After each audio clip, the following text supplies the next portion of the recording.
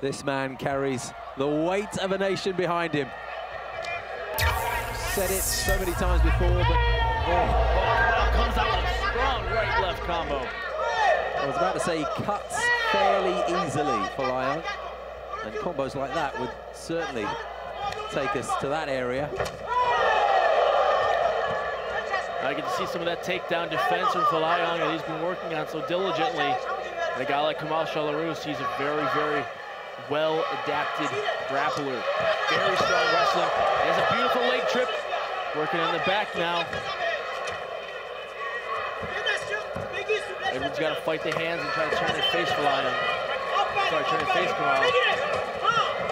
Just tried a little swinging back punch there, Edward. He likes to do that. Sometimes that's a full 360. Well, one of the things I like about watching Edward fight is that he throws everything at you and the kitchen sink. Doesn't hold back, does he? Full of excitement Folayang fights. And this is not where Edward wants to be on his back with a very superb, well-conditioned wrestler on top of him. Gonna see what kind of jiu-jitsu now Edward has from his back as Kamal works from half guard. Right in the mount. Oh. And then back in the cross side. This isn't a position we've seen Folayang deal with too much. Oh.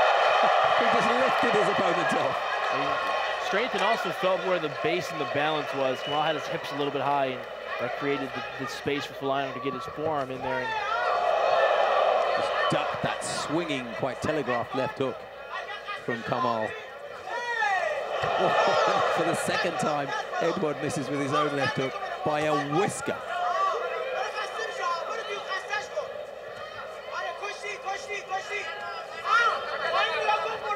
Kamal wants to use the striking to set up that shot. It's too hot, swinging for the fences. And if one of them connects, it could be pivotal.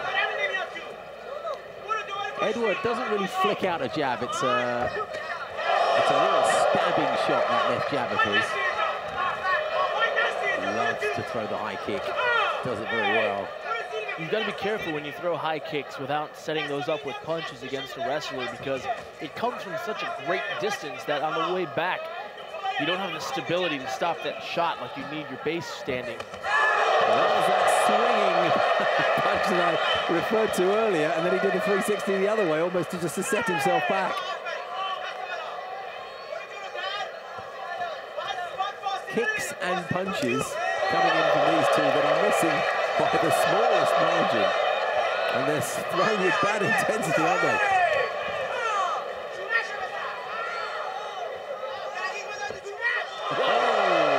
Kamal just missed having his head taken into the nice takedown. Again, this is what we talked about. Folayang missed that crazy wheel kick. And that created a little bit of space. Kamal was able to shoot and get that nice double leg high crotch.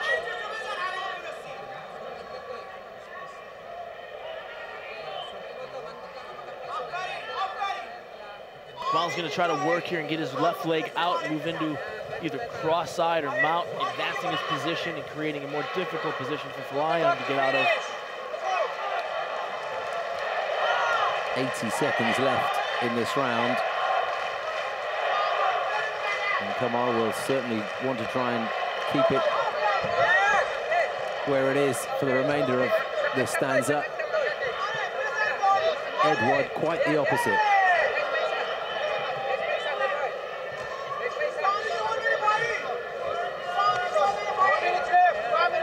Kamal's done a good job of setting up his takedowns.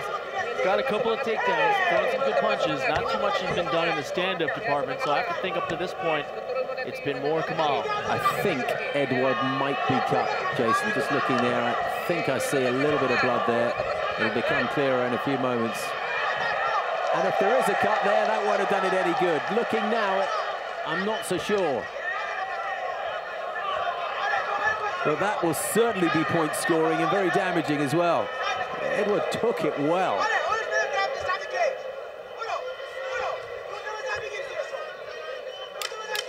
Final 10 seconds. there comes that high kick again. Looking to give the haircut that's not really needed, is it? And right on the bell. He attacks again.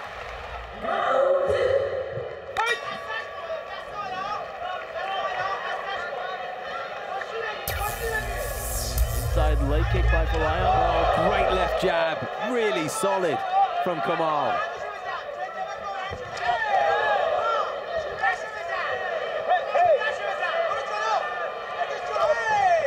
Another single leg takedown. Good defense by Folayang. Got his hips in deep. Done well there.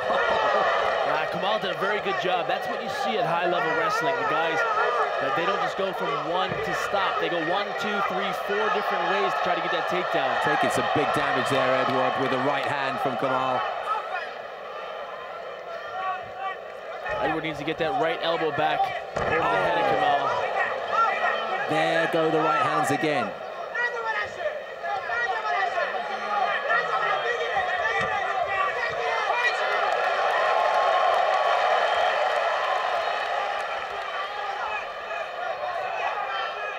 Very compact defense Kamal has. High hands. Also stands quite square on from the hips. Well, if there's one thing that Edward's shown Kamal, it's that he's trying to give him a haircut every time he throws that high kick like you were talking about. And he's missed by inches, but if one of those connects, it's going to be lights out.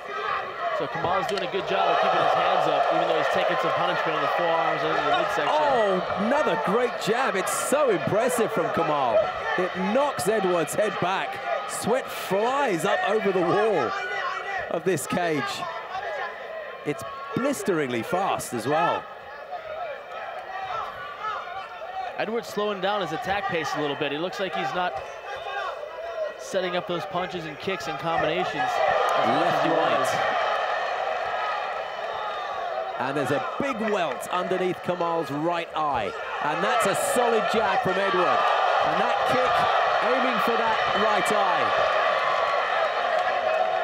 Every time Edward throws a kick that turns his back to Kamal, Shalorus is able to get in nice and tight and secure that takedown. You know, if I'm Edward at this point, I got to stop thinking about throwing those head kicks and utilize my strengths, maybe utilize some of those punches more and set up those kicks with some punches because he's given up the takedown seven or eight times so far. And this is really putting Kamal, I think, ahead on the judges' scorecards.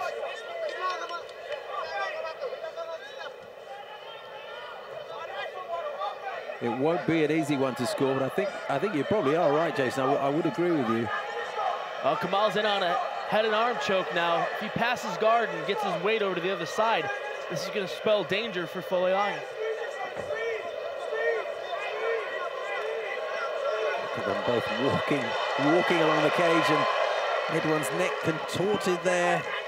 Freed himself from it momentarily. A big mouse underneath the right eye of Shell Shalorus there. Trying to see from our angle here, it looks like it's swelling up yeah. from that one punch of Folayang. It is pretty gruesome.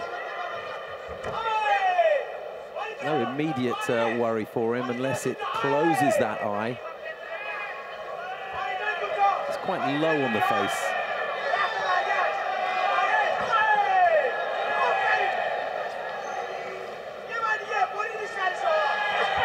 Ball needs to work to get that left leg free. Moving to mount, past the guard of Folayong.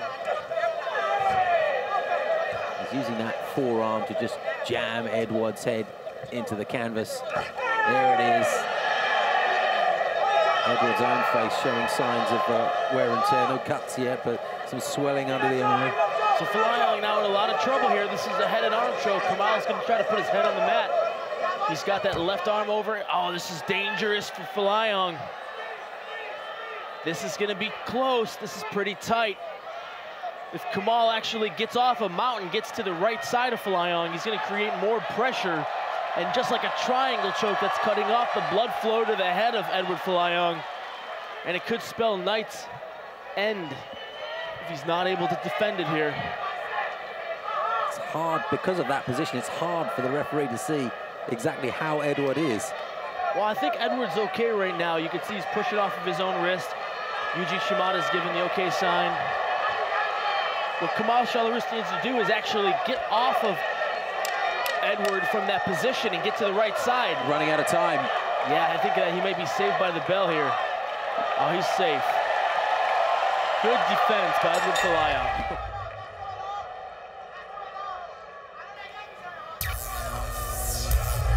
It's Edward, really, who needs the impetus of a championship round if he's going to turn this around. And this is where he needs that home support. Big kick. Well, that's that head kick we talked about, and that time it just grazed a little bit. Oh, Kamal did a good job of timing that to get underneath it. he missed with the follow-up and then came round with the fist as well. Folayang needs to really pick up the pace here and let his hands go. He knows that he's down this far into the fight. Gotten a couple of takedowns on him. Had some ground and pound attempts. Not too much going on in the stand-up department. Not nothing that was really attributing to any damage, at least. And that is where Edward's strength lies, you figure. That's where he's got to make it work. Moments ago, he was on the end of another one of those super stiff jabs from Kamal. Good left hook from Edward. Aiming for that welt underneath his opponent's eye.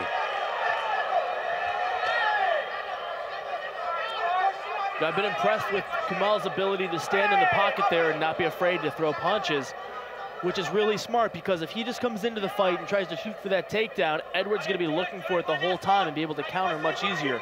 What Kamal has done is he's created a situation where Edward has to respect his hands because Kamal's coming in, landed a stiff jab, he's landed some punches, and that really opens up the takedown.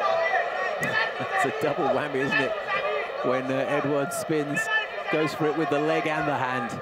There's a red mark uh, on the left side of Edward's body, which is testament to the kicks he's been receiving. Toes into the rib cage, that's what that does. Good kick there, the outside of Kamal's left leg, and there are welts on that knee, that leading knee of Kamal, the outside there of his left leg. Edward's got two minutes and 45 seconds here to really make happen. Could well be too little too late, couldn't it? What can he do in this stand-up position with that big swelling underneath his opponent's eye and the support of 20,000 compatriots at the Mall of Asia Arena? He's working on a guillotine choke here. That looks like it's pretty deep. Oh, oh, he gets out. And they crack heads as they come back in and engage. That was the moment that Edward was hoping for. What can he do now? Two minutes and 10 left. This is a difficult position for Edward to be in. I think that he did a smart thing and said, you know what, forget trying to win the fight by decision at this point. It's going to be too difficult to fight takedowns. And I think looking for the submission off of the takedown was smart for him to do because that choke was in deep. Edward just gripping the cage with his little finger, getting it slapped by referee Yuji Shimada. That's not allowed. Yuji Shimada don't take no BS. you grab the cage, he'll let you know. Yuji, a veteran of 350 million MMA fights. Seen some of the best action MMA. And he's unbeaten in all of those as well. That's very accurate.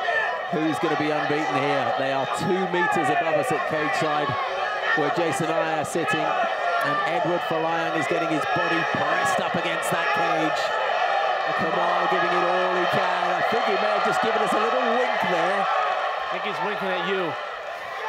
But he's staying on Folayang and doing a really good job. Folayang's in on a an armbar there for a second, but a minute left here, and Folayang really has to feel some urgency. Let his hands go. Stop with those crazy head hunting head kicks and just throw hands. Oh, Nice good leg kick.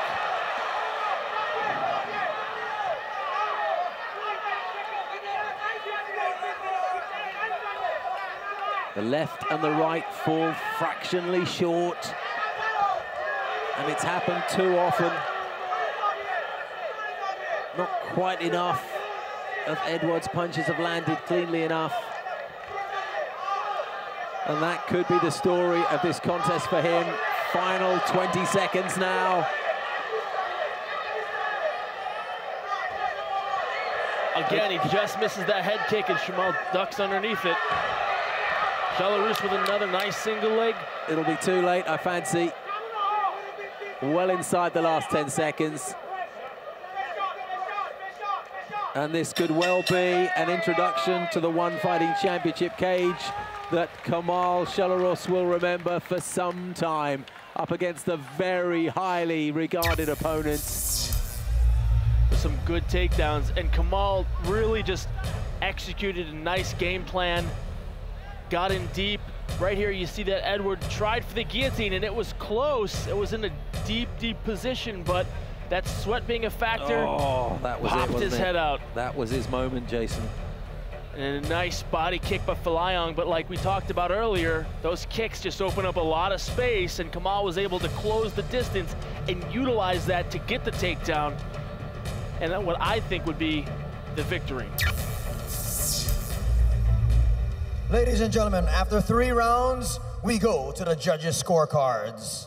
And all three judges see it for your winner by a unanimous decision. From the blue corner, the Prince of Persia, Kamal Shalorus.